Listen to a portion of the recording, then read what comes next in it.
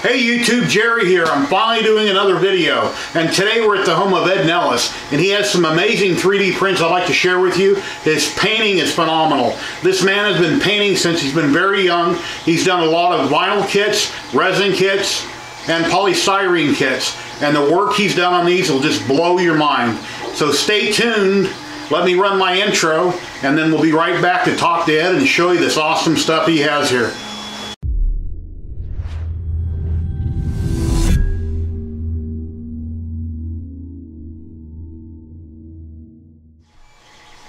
Okay guys, we're back and here's Ed Nelles.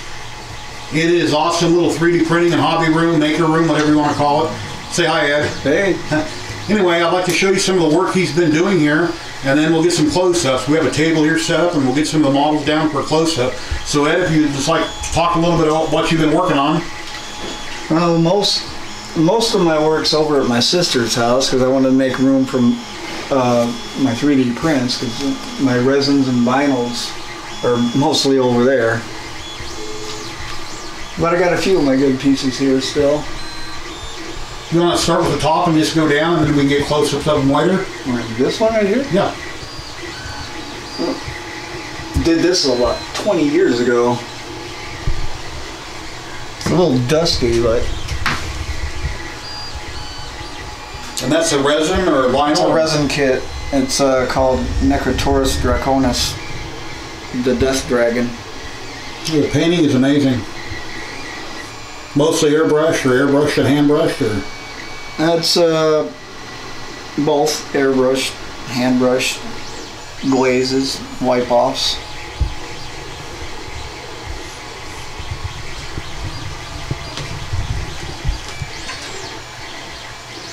and your demon, I forget his name. I don't remember what movie he was from. It's Tim Curry from Legend. Dark. Uh, the character's name Darkness.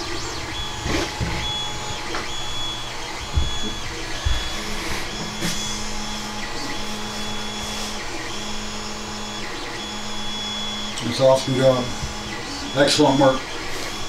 That's uh, mostly airbrush because I did this one before I learned uh, how to use uh, pastels, even before I even knew about them. I love how you got that dust effect on the horns. Was that done with chalk or is that just living in Las Vegas, Nevada? That's living in Las Vegas. Actually, these are a little, a little glossy. It's really nice. Actually, they're kind of like this. Zoom in on it there. Alrighty, moving on. Uh, Oh, this one's dusty too. That's They're Cat- all pretty dusty. Catwoman or Batman? Michelle Pfeiffer, Catwoman. Did that about 15 years ago. And this is Batman. Michael Keaton Batman.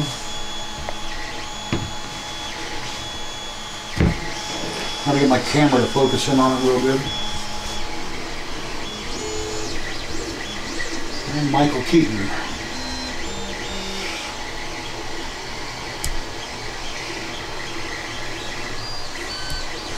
I didn't give Ed much notice for doing this video, that's why you don't have these already dusted off. Kind of spur of the moment, popped it up on him. Yeah, last night. And we've got the Terminator up I there. don't even bother. That's all mess. That's a mess up. I, you know, it's it's just a mess up attempt, and it's kind of all broken up. And Wolverine versus Deadpool. Well, that one we all need to see. That is an awesome model. And that came off of Facebook group's uh, Special STLs. Right here on the screen, guys. I'll put a link to that. So if you guys want to go check it out or buy this from Special STLs and print it, you'll be able to get it for yourself. What's the scale on that, Ed? Um, I printed it at eighty percent, and Wow. that made it about uh, say one four scale. That's amazing. So at 100% scale, I think would have been monstrous. Yeah. I know once in a while I print it 150%. I've done a few at 200, but to me that looks like it's like a 250 compared to what I usually see. But that is just amazing, 80% scale. You get some close-ups of it here. I hope all those details coming out on the camera. This is just unbelievable. How long have you been painting it? Since you've been real little, right? I've been I've been uh, drawing since I was five. Been painting since uh, I was like 20. Wow. I know I done a lot of models as a kid growing up as a fad, and then I kind of moved on with my life, and I should have stuck with it. And my painting is slowly getting better, but I'm nowhere near this kind of quality. This is perfect. This looks like a resin kit. Doesn't look like a 3D print, but it's definitely a 3D print. Printed on your CR10 and Ender 3, right? Um, this one was all yeah. Mostly on CR10 because uh, of the size. Beautiful. There's a few parts I uh, printed on the Ender 3. Okay, and moving on, uh, Iron Man, that's a resin vinyl or This is a vinyl kit I did uh, a few years back. Use Alclades, uh, uh, a lacquer uh, metallics on it, and uh, red was a, a clear uh, Tamiya red sprayed over the gold. What do you typically use a clear coat with, Ed? This one I uh, used uh, uh, Future Floor uh, finish. Gives a more uh, more of a, like a metallic sheen to it. Okay. And of course, it helps to protect the model because it's a real strong. Oh, and And we've got lights. Oh wow, this is so cool. first one ever. That's the first one I uh, ran lights through LEDs. Awesome. The kit actually came with the LEDs. Let me see if I can turn the light off real quick and see that better. Ta-da! Wow, that looks awesome. And Darth Vader. I believe that's also off the special STL group. Yes. I'll put a link here on the screen for that, guys. Oh, his hand's missing. What scale did you print him at, Ed? You remember? Um, 120. Wow. Oops.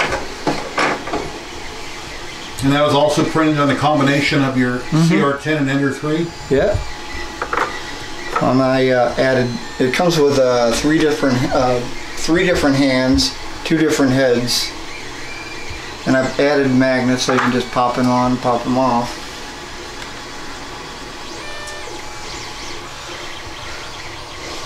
Oh, and We've got lightsaber lights. Lightsabers lit up very nice. I printed the the blade of light, the the lightsaber. I printed uh, hollow with a 1.2 uh, wall thickness. Turn the whole thing just a little bit. There you go. Perfect. And I uh, chained uh, about 23 millimeter LED lights, one on top of the other, and wired them all together and ran them through the hollow blade, and ran the, uh, the wires up through the hand and the arm and through the body and down through his uh, right leg into the base. And all the lights, LED lights, are connected to these, so they all light up at the same time. Superb painting. All you guys out there that are 3D printing and you're printing really nice, but you don't think it looks that good once you paint it, practice makes perfect. And this, like like I say, this looks like a resin kit, a vinyl kit. It's almost perfect. It's all in the paint, how well you can paint. Oh, and uh, like I said, Kim comes with uh, three different uh, hands. It's the force choke hand. Don't you have another head also? Uh huh. And uh,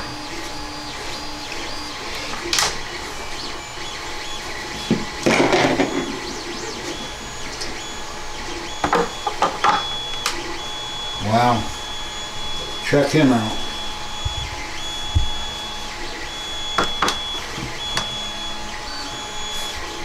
When you painted that, that head, Ed, you come tell us how you did that? well, the head is uh, all the detail on the head is mostly done with, uh, actually almost all co- completely done with uh, soft pastels. Basically, what I did is I primed it. I uh, and then I painted a coat of uh, pale gray blue, and then dry brushed uh, pale flesh over that. Then went straight to the pastels and all the detail on the scars and the face is- was done with uh, soft pastels. Unbelievable. Well, hope I live to be old enough to get as good as you are. A lot of people think I do great. Well, I think I, I do okay, but not great. Not like this. Unbelievable. Let's talk a little bit about your other models here, starting with maybe the top shelf. Your Max you have up here. Uh, these are uh, mechs from uh, Thingiverse. I uh, uh, they were actually originally 10 millimeters. I scaled them up to 160 scale.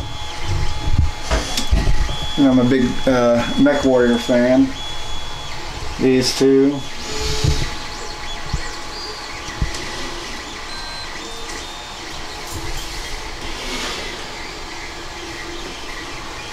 And uh, we have one here that I've painted. Wow. and one here in the process of being painted, both the same scale. And uh, we got uh, Sean Connery. Professor Jones, Sean Connery. I did for my wife. That's the resin Now this is a vinyl kit. vinyl kit. It's old. It's an old Horizon vinyl kit. How much might a vinyl kit like that sell? And Well, this would probably be impossible. Horizon went out of business years ago. Okay. The only possible way you might, might be able to find this is on. Uh, you're tangled. You're tangled. I think. oh, One second, guys. Got a roll of 3D Solutech here. It's got a tangle in it. Straight from the manufacturer.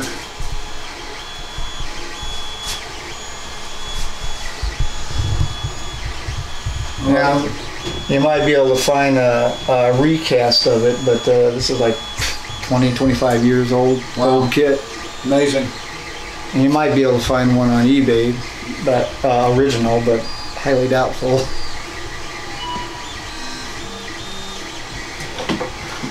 This is another mech I uh, painted years ago. It's an old Armorcast Battle Master. I added a custom base to. First time I ever did armor. That's actually the second time I ever did armor.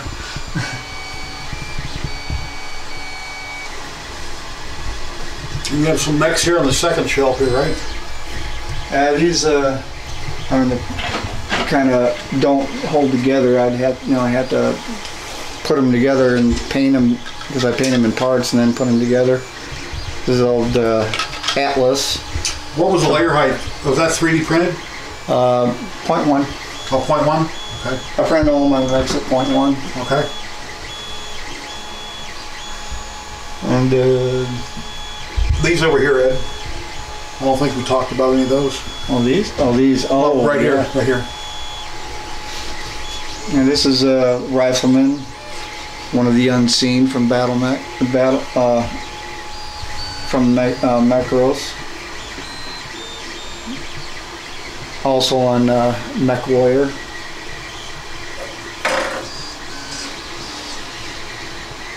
Wow. Details really nice. These are all approximately uh, um, 160th scale. Which is basically what, 100% scale in the 3D printing community? Well, actually, these uh, um, originally were 10 millimeter from Thingiverse. Okay. I scaled them up to between uh, 250 to 260 percent. And you have a little character there too, if you could show us that one. Uh, this is uh, actually the same scale as the mechs. It's just uh, a little mech pilot I did, Wow. printed What was the layer height on something like that? uh, .06. Wow. All the detail didn't come out because you know, And on a point four nozzle, correct? yeah, Okay. I've never printed with anything else. Yes. I've been I've been printing for about two and a half years now, I believe, and I've used nothing but a .4 brass. I've never had a reason to try anything else out. I kind of get stuck on a one print Another one vinyl kit I did a few years back. The fly. The fly, the Brundle fly. And actually has hair on it. I have the fly from uh, the fly two at, at a at a store at the Galleria Mall for sale. If anybody's interested, What's the name of the store? uh, Collector's Playground. I haven't been there in a while. How many things do you currently have out there that are selling of yours? I think about five, six. I think. That's awesome.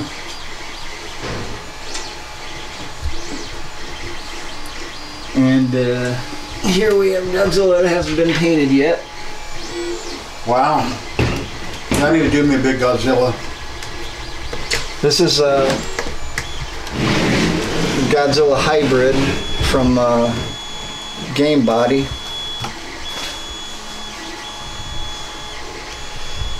Printed at uh, 120%. 17 inches tall. And I mean, this was a glue together, not a snap together, right? Some some of their models are snapped together. It's got uh, little brackets that hold the pieces together, but I'm gonna be gluing it all together when I when, once I finally get to it. But I'm so backlogged right now from painting. Yeah. That looks wonderful. I'm actually currently printing Godzilla right now. Another Godzilla from uh, Godzilla versus Ghidorah diorama from the new movie that's coming out. And this is a painting process, big mess because I'm not very organized. And who she's who? This is uh, Rogue from the X-Men. This is Wow. Rogue, fr uh, Rogue in Savage Land. Unbelievable.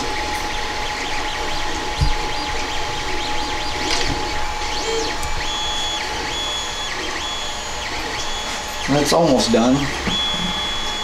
And that's Godzilla in the process of being printed.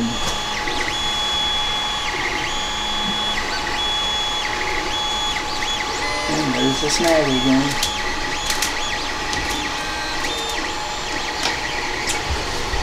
And I got the fly in the other room.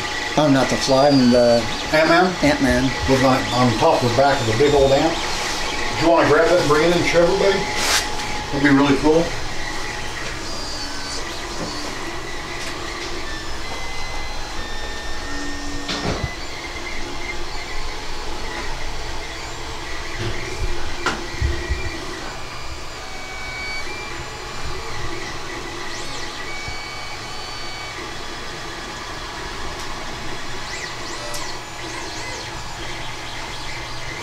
Be with this one because it's not, none of it's glued. This is huge. Looks like it has an antenna broke off. Yeah. And the wings, uh, I have to redo the connections before I them on. Wow. What's that, like 200%? That's one, um, check, what was that? I think it was 120 or 130%. And that's uh, Gambody? Because originally this was, uh, um, I think 116th scale. And I uh, bumped it up to 1 scale, you know, size comparison for the normal sized man, I mean.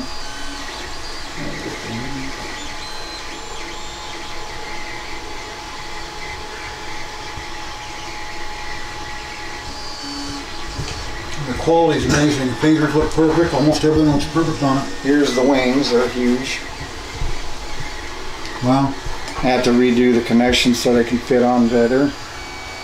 Printed in uh, natural clear Solutech uh, PLA. Amazing. I was just talking about the quality. I mean, I don't see any screwed up fingers. I don't see any cracks. Layers came out really nice. Yeah, both the Ant-Man and the Wasp were printed at .06 and the Ant was printed at uh, point, point .1. Amazing, amazing.